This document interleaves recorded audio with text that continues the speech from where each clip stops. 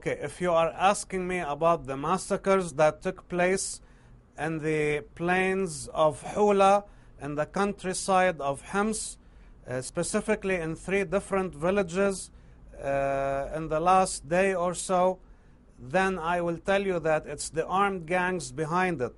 And the reason I say that is because these three massacres took place in the context of a broad attack against army roadblocks and security stations throughout the area.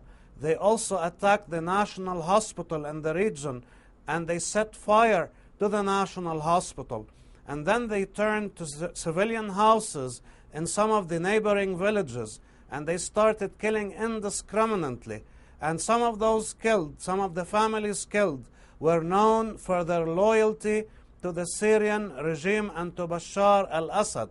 So it doesn't make much sense to accuse the Syrian army of the government that they have committed these crimes. In fact, these crimes have come at a point when a political solution is slated for the Syrian question.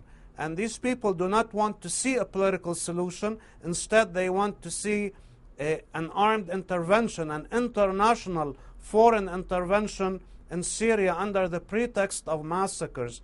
Don't you think that it's funny that each time an international envoy is about to come into Syria or is close to uh, having some kind of resolution in the Security Council, that some of those massacres suddenly emerge?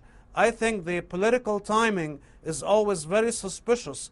It would not make sense for the Syrian army to commit these massacres and withdraw and then just let the rebels come and take photos and make uh, documentaries about them. In fact, these crimes were committed by the armed gangs that are supported from abroad, from the GCC countries, and from the NATO, specifically through Turkey.